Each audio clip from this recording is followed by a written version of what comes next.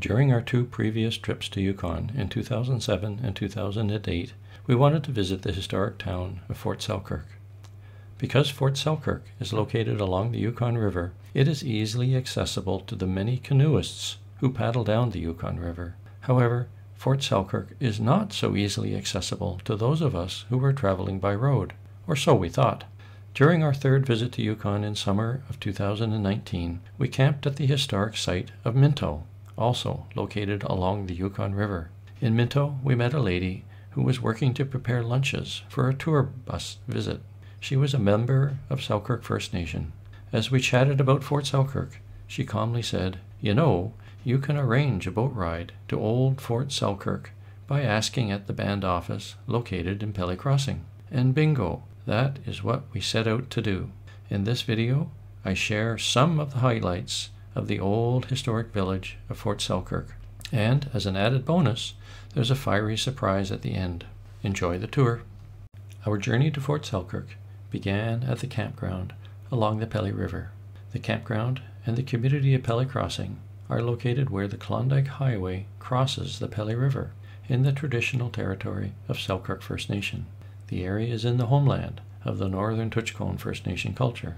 In 2019, the campground was free and managed by the Selkirk First Nation people.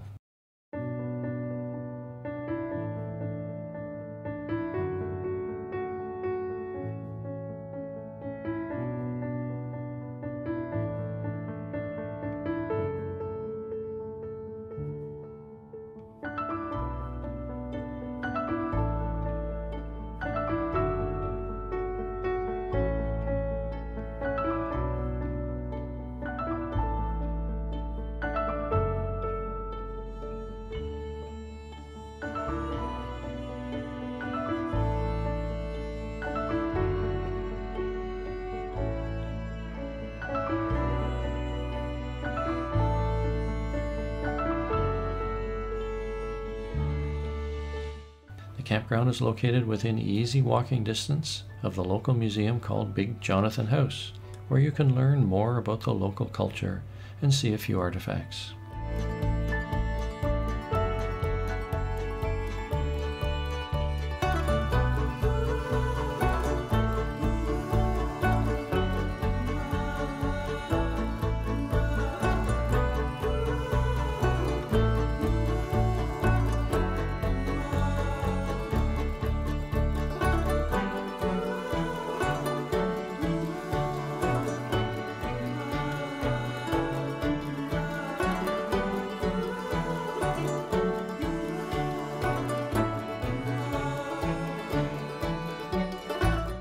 Find out if we could charter a boat ride to Fort Selkirk, I visited the Selkirk First Nation Administration Office. There, I met Teri-Lee Isaac, Heritage Manager for Selkirk First Nation. After a discussion of the many projects underway, Teri-Lee kindly arranged transportation to Fort Selkirk. Teri-Lee instructed us to wait for a boat at Pelly Farm, located on the Pelly River, about 50 kilometers away to the west along an old, narrow road.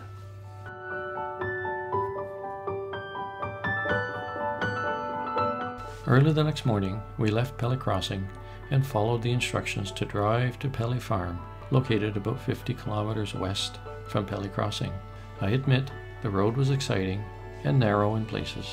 I kept wondering who would take the ditch first if we met an oncoming vehicle, but fortunately, we did not meet anyone else along the road.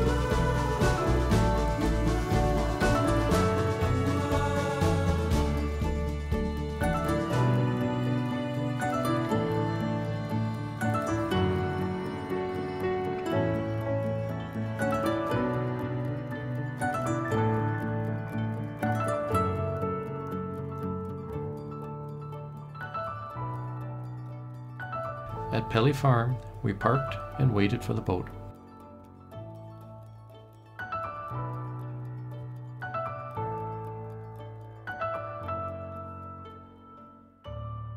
Franklin, the experienced boat driver, and his crew arrived shortly afterwards, using the Pelly River as his highway.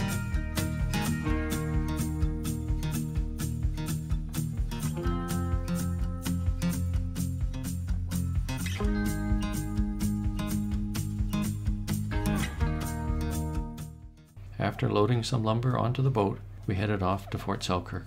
The boat trip lasted about 30 minutes and provided many interesting sights along the Pelly River.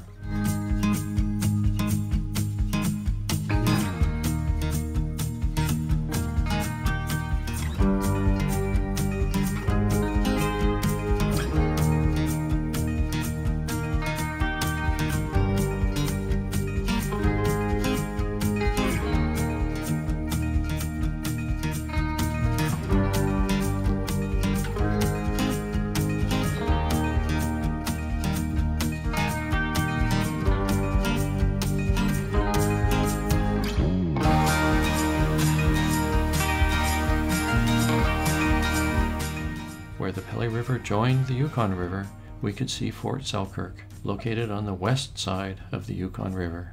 We were almost there.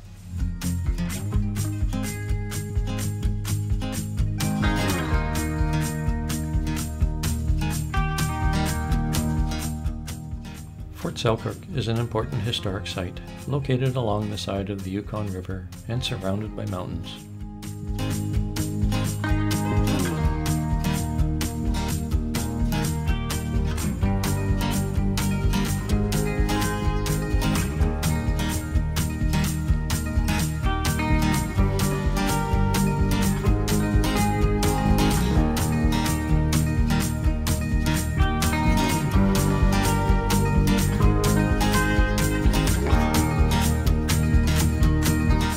Selkirk is central to the homeland of the Northern Tutchone Indigenous people.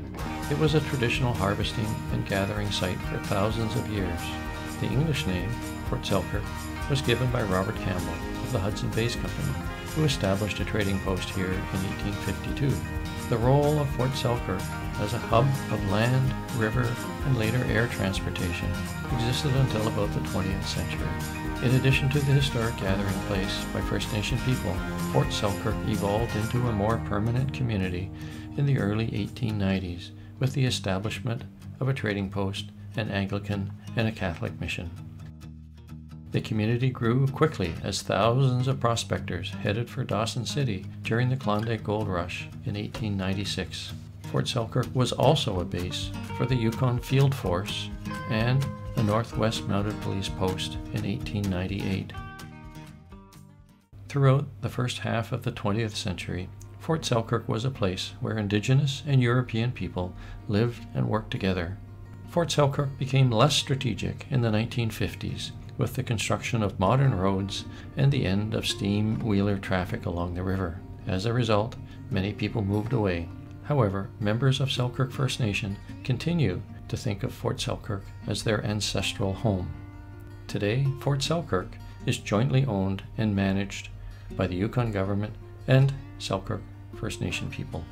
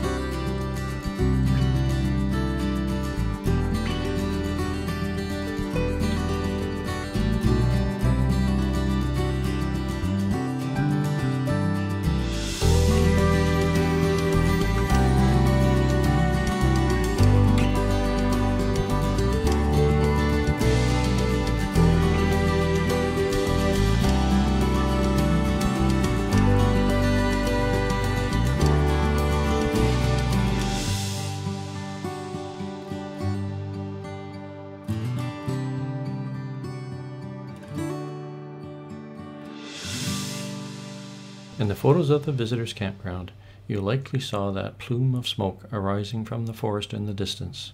In the course of about 30 minutes, a forest fire had erupted to the northwest of Fort Selkirk. Over the next hour, canoeists arrived and set up their camp, and we watched the forest fire grow. Then it was time to leave and head back to Pelly River by boat.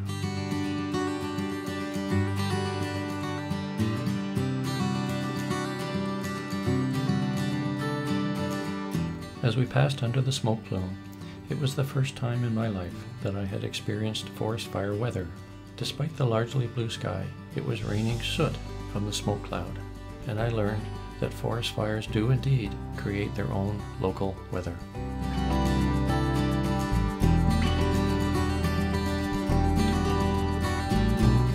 The visit to Fort Selkirk was fabulous. It is a special place that is lovingly being restored by Selkirk First Nation. Part of my message is simple. Don't be afraid to stop and ask for guidance from the local First Nation. They may help create a very special experience for you. As for the forest fire, we listened to the reports over the next few days as we traveled south. The fire was finally brought under control several days later.